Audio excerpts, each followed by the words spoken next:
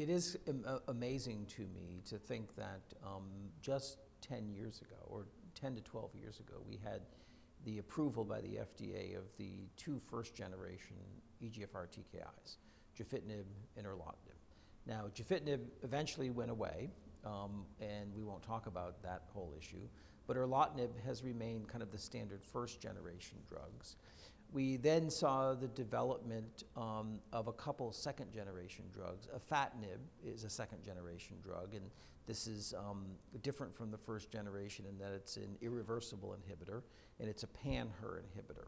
Um, uh, there's another drug uh, that has not yet uh, been approved, dacomitinib, uh, which is another second generation drug, very similar to afatinib, but a different developmental course um, that's not yet been successful in terms of leading to FDA approval. We are now in the era of the third generation drugs, and the difference uh, with regard to the third generation drugs is that they uh, are more specific for mutant EGFR and relatively spare wild type EGFR, where that is not true of the first and second generation um, agents, which will inhibit mutant EGFR, but also will inhibit wild type and may account for uh, the typical toxicities of rash and diarrhea. The um, third generation agents were also developed with an intent to um, be active against the major secondary mutation for resistance that we see in exon 20, the so-called T790M mutation, which occurs in about 50 to 60% of patients with known EGFR mutations after exposure to first, second uh, generation TKIs. So it's a major issue with regard to the mechanism of resistance. And so uh, as a target, it, it is of high priority. And that's where rociletinib and AZD9291 come in. Those are the two lead third generation compounds, which we saw some very exciting data at, at ASCO this year. Um, and uh, both of them have been evaluated both in T790M negative and positive. We've focused on the T790M positive population because the, the level of activity in that population is quite remarkable. Uh, remember, these are patients who have typically been on uh, a first or second generation TKI, and then at the time of progression, transition to that. And response rates are, are north of 50%, to is you know, a, a around a year or, or, greater in this setting.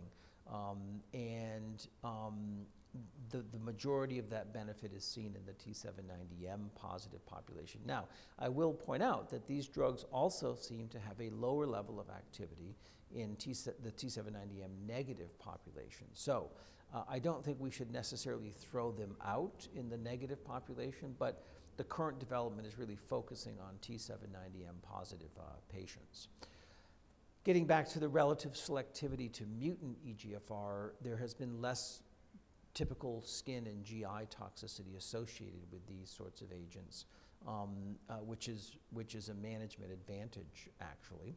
Um, a couple of unique toxicities with regard to rociletinib, there's about a 20% rate of grade 3 hyperglycemia, which was not anticipated from the mouse um, uh, preclinical data.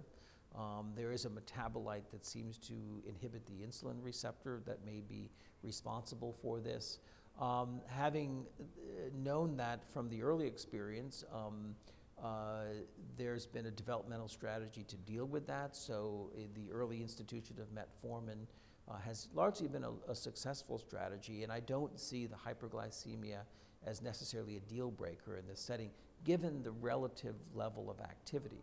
Now, interestingly, AZD 9291, um, eh, not seen any hyperglycemia with that agent. Um, there's been a low level of uh, QTC issues with, with both drugs, uh, very low level of ILD-like reactions with, two, with, with, with both agents. So, you know, again, a, a pretty impressive level of activity in a relatively impressive lack of significant toxicity with these agents, kind of the best of both worlds. So I think, you know, the possibilities that we have moving forward in the EGFR mutant population, particularly those patients that develop T790M, I think we are at a point where, you know, it, it might be realistic that a patient is on a drug like erlotinib for one or two or more years, develops T790M, and may be on a third generation drug for one or two or three years. Uh, before you know it, you got a real chronic disease, and, and patients haven't yet made it to IV chemotherapy. Um, so it's very exciting in this subset of patients that we will be developing these agents that, that um, uh, seem to do better. We alluded to the CATO data before, so maybe combining bevacizumab, we don't know how that may change the resistance mechanisms and stuff like this. Uh, perhaps that will give us some, some um, uh, uh, additional advantage in terms of that. Um, there's interest in combining some of the uh, uh, uh, immunotherapies with targeted agents. So um, in these subsets of molecularly defined populations, it's, it's, it's very exciting thinking about the possibilities of uh, making this into a much more chronic disease these when we have you know, been used to in this setting. The only disappointing thing is that they're a minority of our patients. And so we're still having to deal with the kind of pan wild type, if you will, patients in which you know, we struggle with the issues we talked about in terms of optimizing chemo and first, second, third line sorts of treatments. Um, hopefully we'll be finding uh, you know, more actionable uh, molecular subsets to direct our therapies in, in, in, in, more patients. Given the level of activity of the third generation compounds, there's great interest in integrating them as first line therapy. And, and might they be better than first or second uh, line uh, drugs? Might they be better used sequentially? There are some trials addressing um, their use in previously treated patients relative to chemotherapy. Right now, our standard of care um, outside of a clinical trial and before FDA approval of the third uh, generation agents is to transition them to chemotherapy. So there are some trials looking at uh, these third generation compounds relative to chemotherapy. Um, so lots of questions to ask. And, and, and again, this, you know, again, we're in a setting where we might have the ability to effectively treat these patients with different types of treatment over time, hopefully more than less, um, where you can kind of keep the disease at a subclinical state. The patient has a very good quality of life. I, I don't know if we can start talking about cures with these strategies, but as I point out to many of my patients who are relatively asymptomatic and fully functional, if I can keep your cancer from getting any worse than it is now, your quality of life is pretty good and you're doing well.